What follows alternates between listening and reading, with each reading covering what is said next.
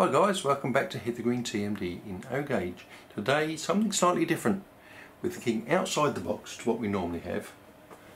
This box. Let's take a look inside.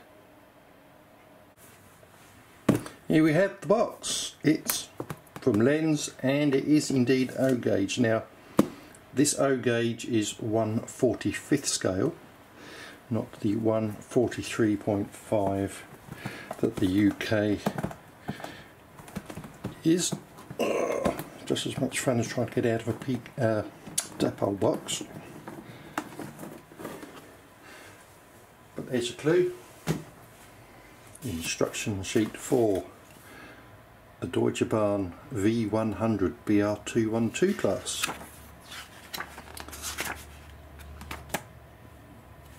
That's what's in the box.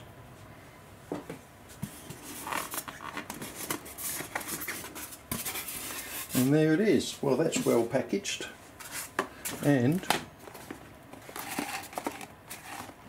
oh look, no bits falling off.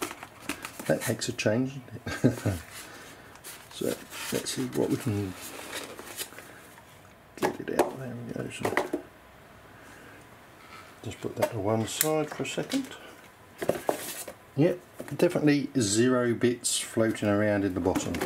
So, in comparison to the British market, you get one complete loco rather than uh, a kit of locos. Taking Mickey really, you know, little bits falling off the British locos is no real drama. And what do we get? Well, obviously it's O gauge, it's diesel, it's a Bo-Bo loco, so comparable to a lot of British stuff. It's heavy. You can see in there it's got a central motor, flywheels, all-wheel drive, wheel pickups rather than scrapers like you get on gauge 1 and things like that and Continental HO which can have uh, the skid for these picking up off the middle of the track.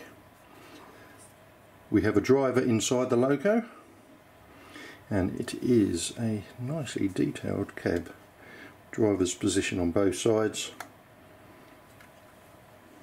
Different ends on this end. The detail is nicely painted. Now this has cost me 478 euros brand new from Germany. It's very heavy. And to be honest all this detail on the bogies and things I have no issue with possibly knocking things off handrails you know not flying across the room. So in that respect the quality of the build is very robust. Sprung buffers which are metal. This loco is digital sound fitted. Again this is 478 euros. So really, I'm saying pretty good. Outside the box, a little bit. Now, we may say that this is a bit odd for me to purchase. However, these locos, which is actually the V uh, BR211 locos, identical brother to this, but uh, slightly less power. These were used to construct the Channel Tunnel, or part of it. They were paired up in Cheriton with a great big pipe running across into a, a wagon behind with an air scrubber for working inside the Channel Tunnel for track laying and I suppose overhead line things and bits and pieces like that. So it is sort of a continuation of my topic which is Project Channel as you remember The green being used as part of that to construct the channel tunnel so albeit the wrong colour for that it is uh, a good looking loco. Let's look at some functionality of the loco. So one thing we do have is cab lights and that is on uh, function 6 and it illuminates the interior nicely and you can see all the desks in there with the moulded detail. Inside the grill here there is a fan, it's non-rotating but I don't find that an issue. I sort of find rotating gams a bit gimmicky, additional noise that you don't need and all that but again we got nice finely detailed bits and pieces on the body. And we do have some nice detail on the bogies which would look better weathered because it will make them stand out more than they actually do. As is the norm with all the models that I've had the class 60s of 33 and all that. Once you add some frame dirt and mat it down the detail actually pops. But as you'd expect in this scale all the writing is highly legible really crisp and nicely printed one of the functions we have on this loco, being digital, is an automatic uncoupler. So what you do using function 2 is select the direction away from the rolling stock, press F2 and it unhooks and moves away and then you can drive your loco away and leave the train where you want it. and if you come up, draw up close with the loco it sort of works in the opposite direction as well. So you maintain driving towards direction press F2 and you can get the coupling sound. Sort of I don't assume that that is what it is for it's just trying to uncouple the other end but it works in both directions so you get a nice gentle ease up. Lighting functions, what we have is they're independently switchable from each end. I learned that one. F0 is the front of the loco and F1 is the rear of the loco. So we have direction controlled, red and white lights. You also have the function on F5 which is shunting lights so if whatever end is turned on will go to the three white lights so you'll have three white lights both ends if you have both directions lights illuminated. What we also have is a bell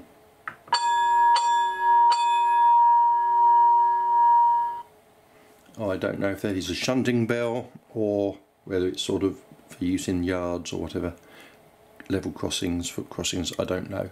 But um, I'm sure someone out there will be able to tell me for the, the purpose of the bells on German railway locomotives.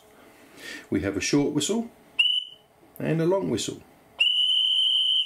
for the guard and we also have locomotive horn which is playable the longer you hold the button the longer it plays. we have a radio call.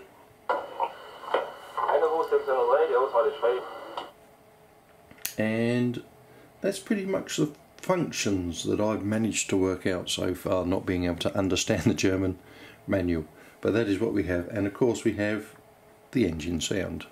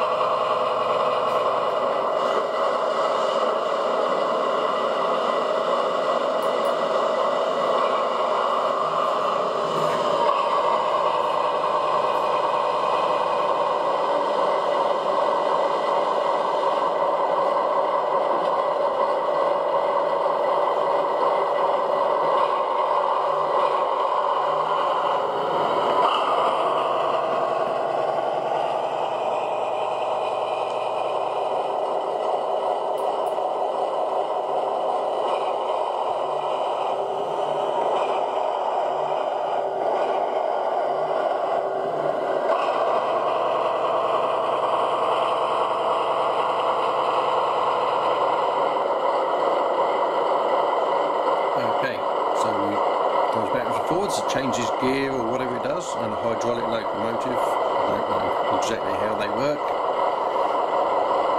So we'll see how it goes in slow speed. Notch 1, speed step 1.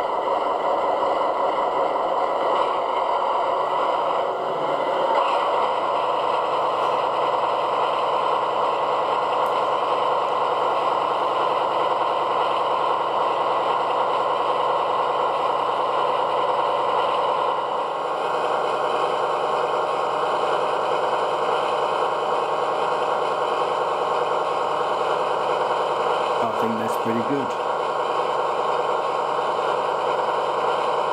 This has got some magnetic sensor on the motor and that allows it to control very slow speed which it seems to do superbly.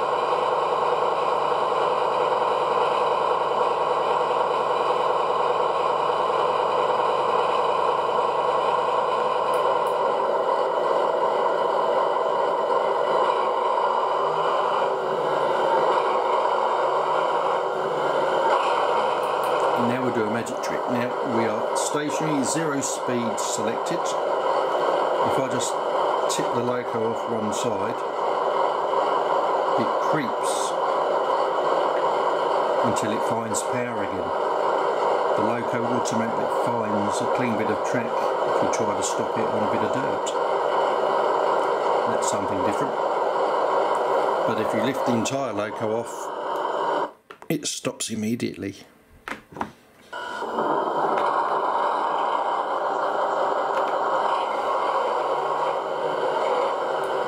Apparently so it doesn't drive off if you come off the end of the track or into a dead section. But again, I'll put it in the opposite direction, so driving that way, and just lose power on one side, it just seeks the little spot where it gets power back and then it stops.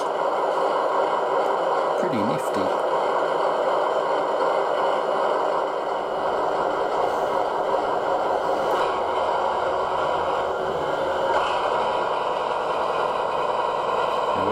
Do have an issue with on my layout because it's not designed for it. Well, I just bring the loco in close, here she comes.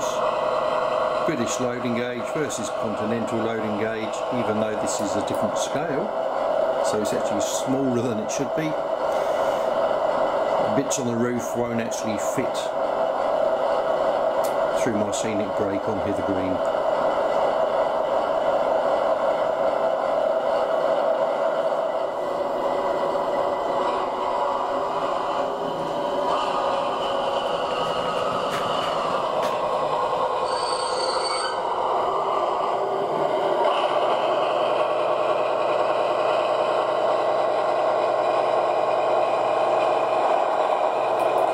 same on the ship.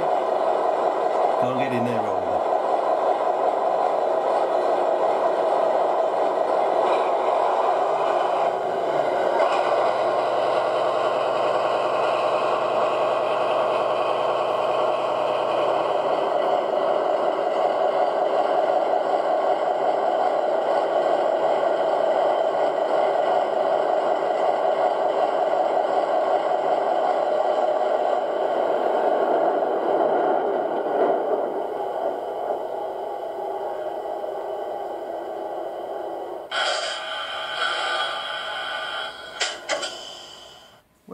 What do we take from that? Well, I quite like that locomotive. Actually, it's very good. The quality of its manufacture is high. You get a lot for your money. DCC sound for a bargain price, technically, like I say. That loco, those two wagons together combined, cost the same as a Heljan O-gauge loco. Again, I'm emphasising the fact I'm not slating what we pay for Heljan, it's a different product to a to a point. Um, you know, two motors, really heavyweight locomotives and, are well made. However, they can be a bit delicate in some ways. This is quite robust. None of the detail wants to fall off when you, if you rough handle it at all. And sound quality is high. And again, that little magic um, thing in the box there that allows it to look for a clean bit of track if you stop it on a bit of dirt very well thought out. The coupling system, if you don't mind the hook on the front, excellent. You know, if you're driving into a station you want to do a run round manoeuvre, you don't have to get your hands in there. No magnets in the track or anything like that. You just press the button and it unhooks itself. An excellent item. So there we go. There's a little look at something that you can get as an alternative to a British modern O-gauge. And in the future I may well get some more of this and build a German layout. Why not? The stuff is out there, the products are there and are good quality. So give me your opinion of the locomotives that we looked at today in the comments section below. Details of the real loco, use of the bell, anything like that, always useful and uh, broadens the knowledge base that we have. Enjoy modelling, stay safe, see you soon. Bye.